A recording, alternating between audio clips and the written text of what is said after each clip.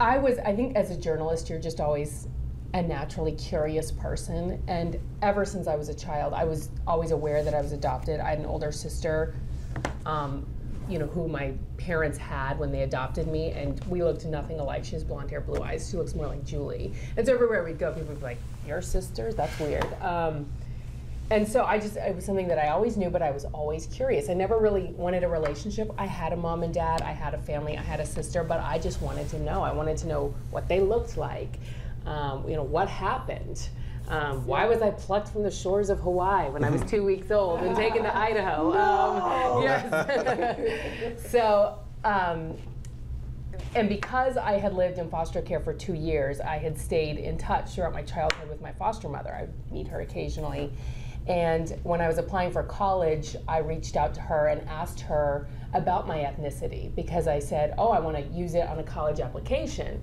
And so she gave me all the information she had, and she told me that my birth father's name was Keith Echeverry, and the last she knew, he was living in uh, Maui, Hawaii, and that he had had a son who was a few years older than me, and that they would come and visit me during the two years that I was with her, and you know, she remembers seeing my mother at one point, and this was all new information to me, and I was about 17 years old at the time when I got this information. And so finally, this colleague of mine was like, she was from Florida, and she said, Lisa, you just need to write him a letter. and so I finally did, and that's where a lot of this information was confirmed. So Your dad. I wrote my grandfather, my mother's father. So yeah, I leaving a lot of it out. But I, my foster mother knew the information of my grandfather. He was the one who kind of rescued me from Hawaii. I was taken taken from my parents, my biological parents, because they were homeless, living on a beach, um, and placed into custody, protective care in Hawaii. And then they called my grandfather and said, "You need to come down here, get your daughter, who's 21 years old, and get your granddaughter." Um, so he flew down to Maui from Idaho. He was living in Idaho at the time.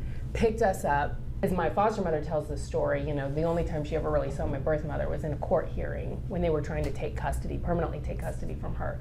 And she said she had brown hair and blue eyes. And, and my birth father, um, he was a military brat, traveled all over the world, and just grew up kind of living in the islands. His father was in the Navy and always wanted to be in the islands, even though they spent a lot of time in Southern California too. So they actually met in Hawaii. My, my biological mother was, they're very smart people. My grandmother, who is Scandinavian, uh, my mother's mother, she went on a full ride scholarship to Stanford, like back in the 40s or 50s, which is pretty unheard of. Yeah. Like a couple days later, Michael and I were sitting on the couch in Pensacola, and my little flip phone rang, and I knew instantly who was calling. And it's amazing, like when I was finally able to meet them at the age of 24, to see like the similarities. My father's dark complected. That's clearly where I get a lot of my darker features. My mother, we had the same teeth, like the same, we're the exact same like height, exact same shoe size. It's weird. It's very, and it's interesting to see the difference between nature and nurture.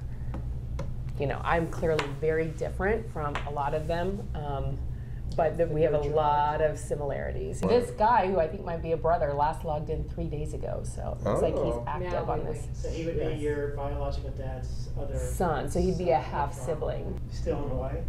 No, he passed away in 2009. Yeah. But I'm so thankful that I, you know, that was always a concern of mine. Waiting because if you wait too long, you know, you, they might not be around. So I'm glad I did it when I did it